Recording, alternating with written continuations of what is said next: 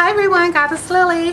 Well, I thought I would make a video outside because I wanted you to really see the colors of my new wig and I wanted to show you something very different today that I decided to do.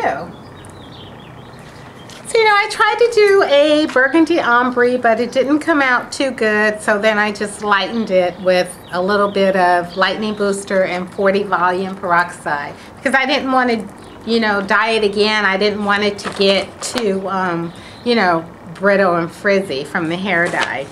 But what I wanted to show you was that I'm wearing my lace wig strap a different way today and I know that you can't tell.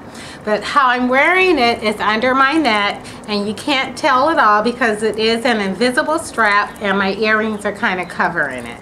So get up close and let you see what I'm talking about. So here's the strap. It's going around my neck.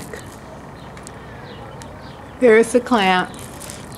And there it is this side. I just decided to do something different today. I have worn it this way before and you know I really like it around the neck though it can get too tight and you know you can take it and you can wear it in the back too. It's really easy to flip it back to the back. I just unloosen the strap like this so here's the strap. So if I want it to the back, I don't have to take my wig all the way off. I just have to go like this. Take all my hair out.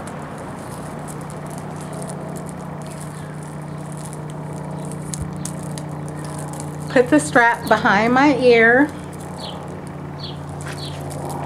Put this side behind my ear. And just find the slider and just once again put my finger in there and tighten it up. Voila it's now in the back. So um, I just wanted to make a little quick video just to show you how versatile the strap is. So following this will be another video and I'm going to talk about my newly packaging that I just got in. Thank you for, for watching